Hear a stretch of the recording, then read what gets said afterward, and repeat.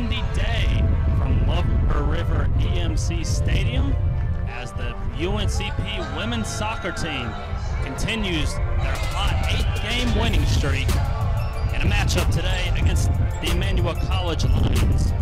Here's Abigail Lowry now, but Emmanuel playing some good defense, and it's a goal!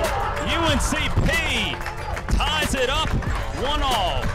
Here's the pass goal, and it's good! Another one!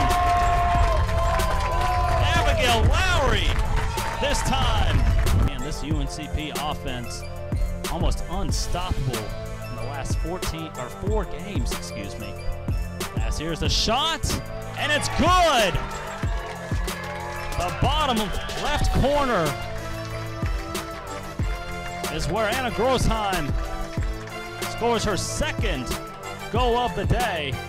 Ashley Harris now has a little bit of leeway, and Ashley Harris, and there it is.